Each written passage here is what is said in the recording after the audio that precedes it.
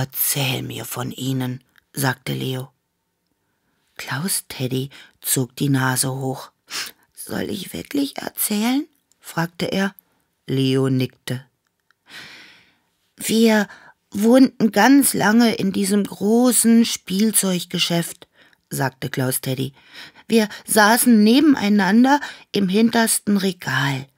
Papa Bär saß rechts, dann kam ich, dann Mama Bär und neben Mama Bär saß Onkel Gustav. Abends, wenn die Türglocke nicht mehr bimmelte und Herr Heimreich abgeschlossen hatte, wurde es richtig gemütlich. Dann brannten nur noch die bunten Lichter im Schaufenster und Robert der Roboter funkelte mit seinen grünen Augen. Dann rückten wir etwas enger zusammen und Onkel Gustav fing an zu erzählen. Onkel Gustav kannte die schönsten Geschichten. Am liebsten erzählte er von Hongkong. Da war nämlich die große Spielzeugfabrik und Onkel Gustav konnte sich ganz genau erinnern, wie wir gemacht worden sind.